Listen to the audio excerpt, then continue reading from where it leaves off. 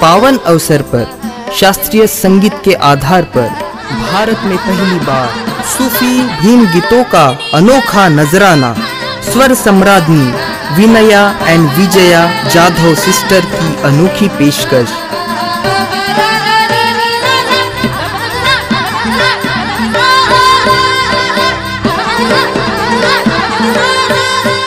Jadhav sister live in concert